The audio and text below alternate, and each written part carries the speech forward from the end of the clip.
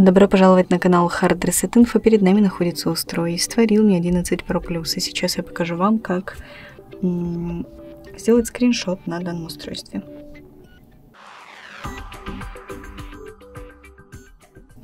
Итак, первый способ. Мы зажимаем кнопочку питания и уменьшения громкости. Второй способ. Мы опускаем вниз шторку и ищем здесь снимок экрана, находим и нажимаем. И третий способ мы проводим тремя пальцами по экрану и делаем скриншот.